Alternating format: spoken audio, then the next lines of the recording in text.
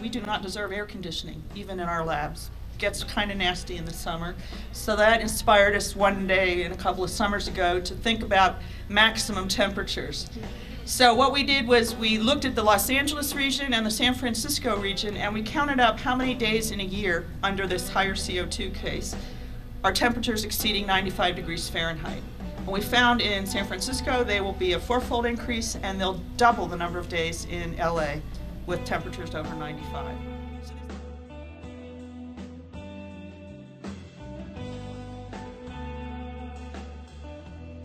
looked at rain as well. One of the things we found was that the number of days that have rain occurring per year will decrease everywhere in the state. And we, decide, we defined a rain day as any day with more than like half a millimeter of rain. So less days with rain, but rainfall will become more intense, that is when and where it falls, mostly in the spring and at high elevations. So you put those together, you have an increased risk of of flooding or at least runoff in some time and places.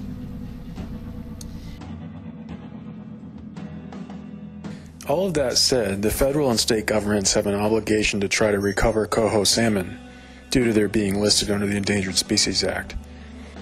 These efforts include monitoring, restoration, hatchery operations, education, and many other efforts which are probably yet to be identified. Participants in these efforts include the Santa Cruz County Resource Conservation District, NOAA Fisheries, the Valley Women's Club, San Lorenzo Valley High School, the City of Santa Cruz Water Department, Monterey Bay Salmon and Trout Project, and many others.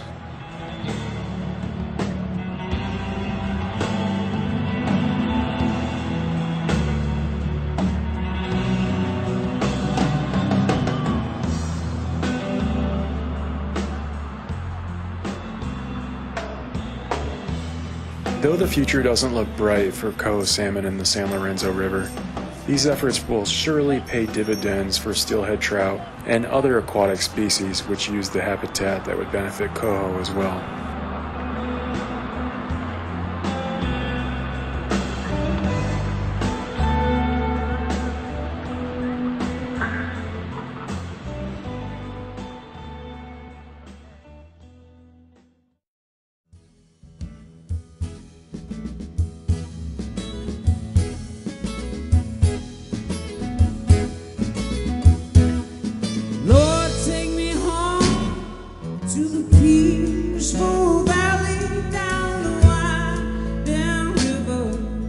city, oh so.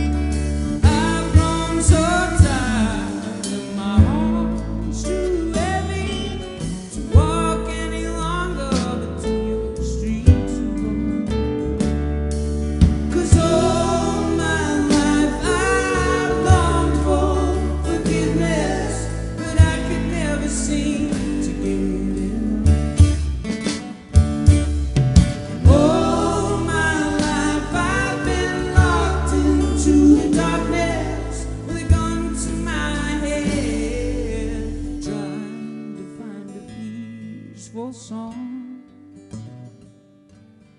trying to find a peaceful song to sing when everything goes.